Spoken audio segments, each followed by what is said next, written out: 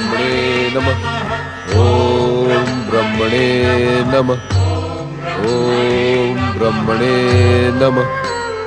ॐ ब्रह्मणे नमः ॐ ब्रह्मणे नमः ॐ ब्रह्मणे नमः ॐ ब्रह्मणे नमः ॐ ब्रह्मणे नमः ॐ ब्रह्मणे नमः ॐ ब्रह्मणे नमः ॐ ब्रह्मणे नमः ॐ ब्रह्मणे नमः ॐ ब्रह्मणे नमः ॐ ब्रह्मणे नमः ॐ ब्रह्मणे नमः ॐ ब्रह्मणे नमः ॐ ब्रह्मणे नमः ॐ ब्रह्मणे नमः ॐ ब्रह्मणे नमः ॐ ब्रह्मणे नमः ॐ ब्रह्मणे नमः ॐ ब्रह्मणे नमः ॐ ब्रह्मणे नमः ॐ ब्रह्मणे नमः ॐ ब्रह्मणे नमः ॐ ब्रह्मणे नमः ॐ ब्रह्मणे नमः ॐ ब्रह्मणे नमः ॐ ब्रह्मणे नमः ॐ ब्रह्मणे नमः ॐ ब्रह्मणे नमः ॐ ब्रह्मणे नमः ॐ ब्रह्मणे नमः ॐ ब्रह्मणे नमः ॐ ब्रह्मणे नमः ॐ ब्रह्मणे नमः ॐ ब्रह्मणे नमः ॐ ब्रह्मणे नमः ॐ ब्रह्मणे नमः ॐ ब्रह्मणे नमः ॐ ब्रह्मणे नमः तब ज्वाला के ऐसे भीषण विस्फोट? ऐसी भीषण तपस्या संसार में किसी तपस्वी ने अभी तक नहीं की। यह किस बात का संकेत है देवराज इंद्र? निश्चित ही ये मेरी विमाता। दीति के प्रोत्साहन से ये दुष्ट स्वर्ग पर अधिकार करने का इच्छुक है। तब तो इसे हमें रोकना होगा देवराज। कैसे? कैसे रोकेंगे हम इसे और इसके भीषण तप को? यदि आप आज्ञा दें तो जल के प्रहार से मैं इन भीषण ज्वालाओं को शांत कर दूँ देवराज। ये सोचने विचारने का समय नहीं है देवराज। तारकासुर का तप सफलता के निकट है। वरुण देव का परामर्श उचित है देवराज। आप हमें आज्ञा दें। नहीं अग्निदेव। इस समय तारकासुर के तप खंडन की आज्ञा देना सर्वनाश को निमंत्रण देना होगा। सर्वनाश? हाँ। ॐ ब्रह्मणे नमः। ॐ ब्रह्मणे नमः। तारकासुर की तप शक्ति। इस समय हर प्रहार को पलटने में सक्षम है। तो हमारा क्या करना उचित होगा देवराज इंद्र? समझ में नहीं आता कि मैं क्या करूँ। स्वर्गाधिपति देवराज इंद्र इतने भयभीत।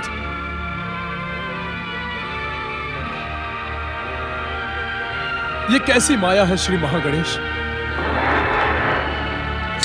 नारायण नारायण।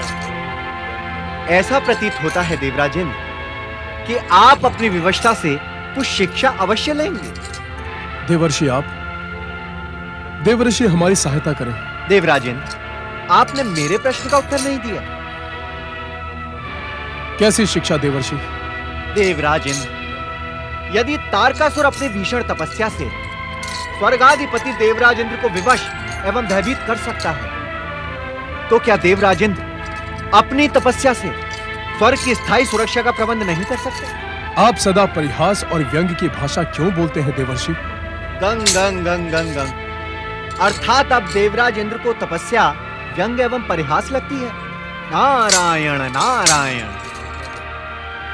यह संकट का समय है देवर्षि। इसके उपचार का उपाय शीघ्र बताएँ। देवराज इंद्र अब उपचार की समस्त संभावनाएँ समाप्त हो चुकी हैं। ॐ ब्रह्मणे नमः। ॐ ब्रह्मणे नमः। ॐ ब्रह्मणे नमः।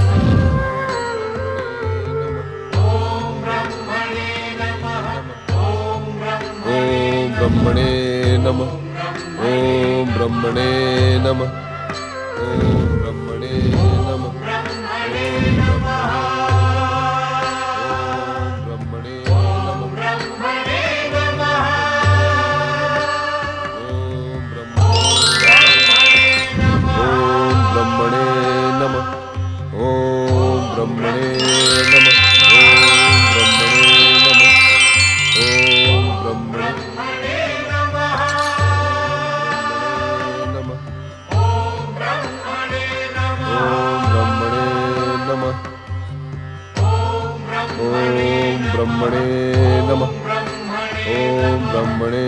नमः। दिति पौत्र तारक।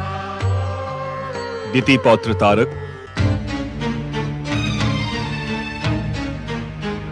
स्वयंभू ब्रह्मदेव स्वयंभू।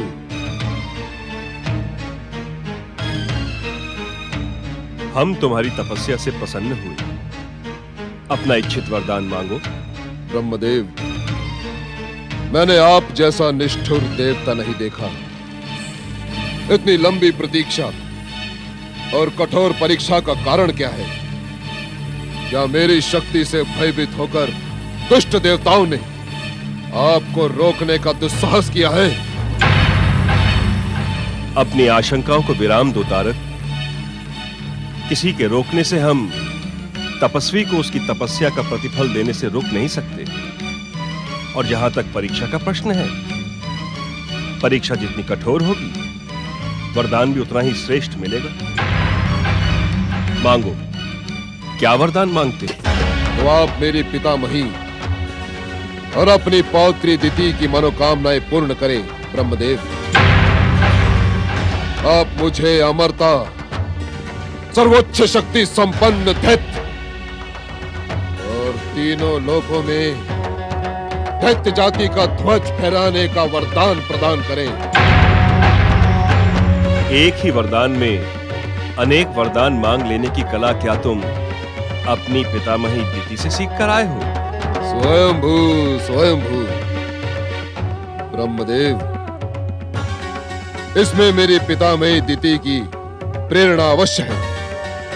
किंतु ये मनोकामनाएँ स्वयं मेरे मन में जागी हैं। अमरता के अतिरिक्त हम तुम्हारी हर मनोकामना पूर्ण कर सकते हैं तारकासुर। यदि मैं जीवित ही नहीं रहा तो इन मनोकामनाओं के पूर्ति का क्या लाभ है? परामर्श देना हमारा काम नहीं है तारक। इसके लिए तुम्हें अपनी पितामही दीति से विचार कर लेना ही उचित था।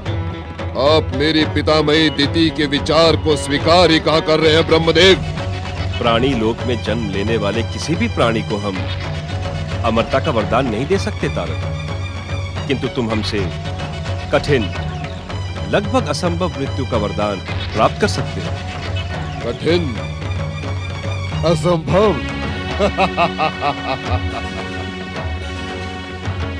इसका निर्णय मैं आप पर छोड़ता हूँ, ब्रह्मदेव। आप मुझे कठिन और असंभव मृत्यु का वरदान प्रदान करें।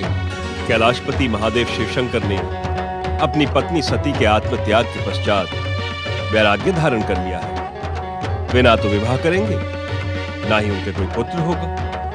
यही तुम्हारी पितामही दिति की धारणा है। पितामही दिति ब्रह्मदेव, आप मुझे अन्य वरदानों के साथ शिव पुत्र के हाथों मरने का वरदान भी दे। शिव पुत्र के ना होने की स्थिति में मैं तार का सर अमर हो जाऊँगा।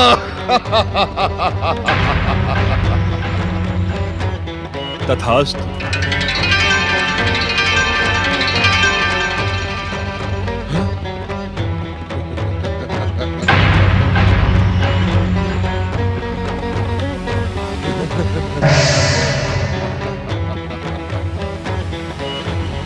स्वयंभू।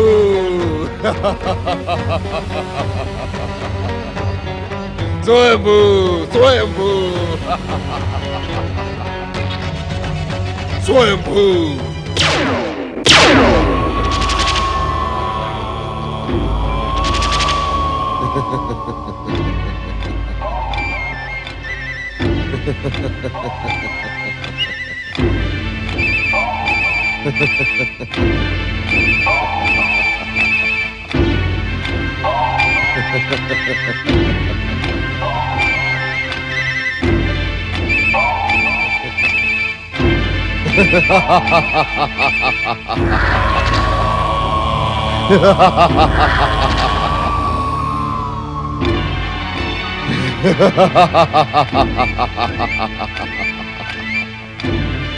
दैत्य सेना प्रकट हो।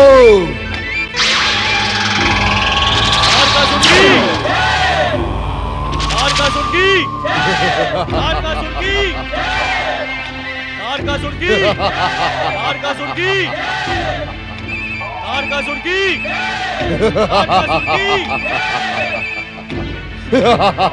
तार का सुड़की तार का सुड़की तार का दैत्य माता दिति की जय जयकार करो। दैत्य माता दीदी की। दैत्य माता दीदी की। दैत्य माता दीदी की। वरदानी तारकासुर अपनी माता वरांगी की भी जय जयकार करवाओ। दैत्य माता दीदी माता वरांगी एवं दैत्यराज तारकासुर की। दैत्य माता दीदी माता वरांगी एवं दैत्यराज तारकासुर की।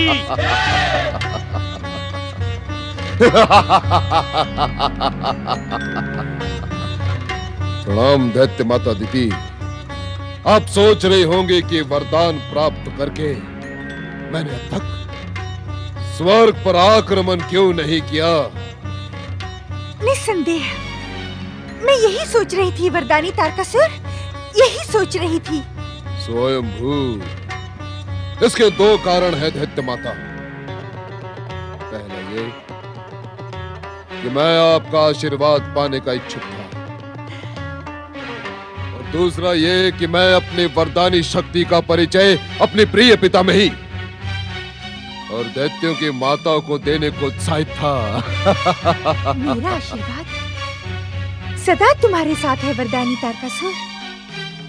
भविष्य में जो भी दैत्य अपनी विध्वंसक शक्ति से संसार को भयभीत करेगा तुम्हारी ही भांति।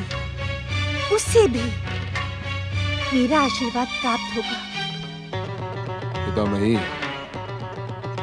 आपकी इच्छा और आशीर्वाद से ये विशाल दैत्य सेना मेरी इच्छा मात्र से प्रकट हुई है। ये समस्त दैत्य वीर भयानक, विध्वंसक और मारक शक्तियों से सुसज्जित है। इंद्र की देव सेना हमारा प्रहार झेल नहीं पाएगी। वरदानी तारकासुर तुम्हें दुष्ट इंद्र को पराजित ही नहीं। स्वर्ग से पतित भी करना है।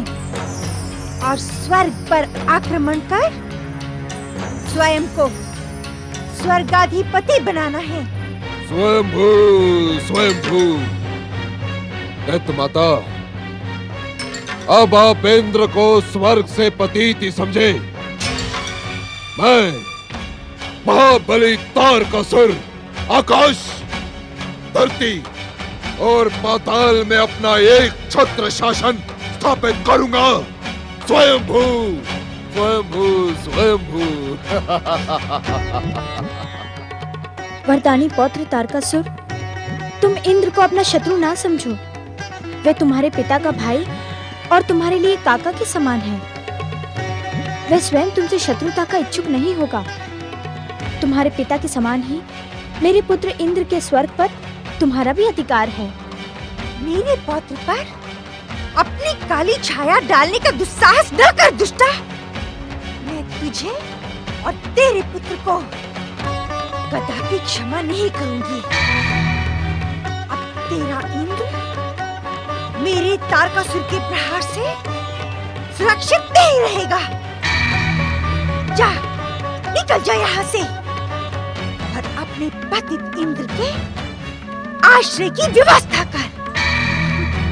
दूर हो जा मेरी दृष्टि से।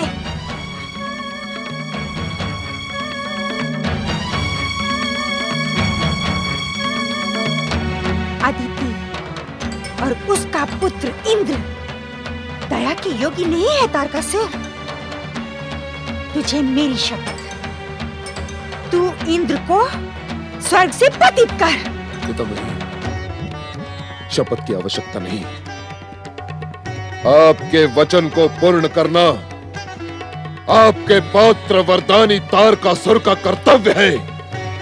तो अब एक क्षण का भी विलंब किए बिना पूरी शक्ति से स्वर्ग पर आक्रमण करके इंद्र को स्वर्ग से बहिष्कृत कर दे।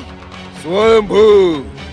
तुझे स्वर्ग के सिंहासन पर बैठा देखने के लिए मैं न जाने कब से व्याकुल हूँ पौत्र। व्याकुल हूँ। स्वयंभू। पुत्र तारकासुर तुम्हारी विशाल भयानक और विध्वंसक सेना को देखकर तुम्हारे पितामही भले ही प्रसन्न हो जाए परंतु मैं उस दिन प्रसन्न होंगी जिस दिन तुम स्वर्गाधिपति बनकर तुम्हारे पितामही को मेरा दिया हुआ वचन पूर्ण करोगे। आप निश्चिंत रहे, माता। आप अपना वचन पूर्ण समझे। दत्त सेना, चलो स्वर्ग की ओर स्वर्ग की ओर।